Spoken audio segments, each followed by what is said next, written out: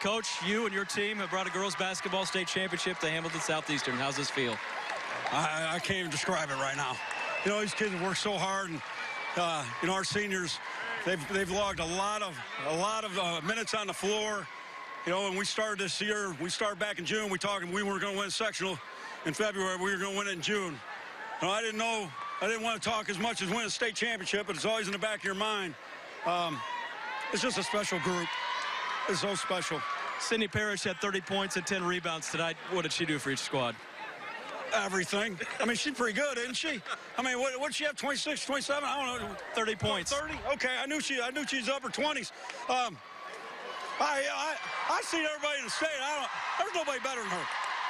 You mentioned your senior group. You've got four key seniors, five in total. What is, what is that group and that class meant to your program? Uh, you know what? They all had a role.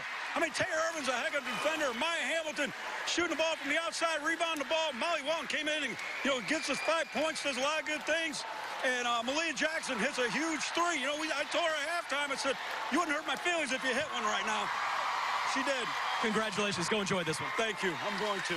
Thank you.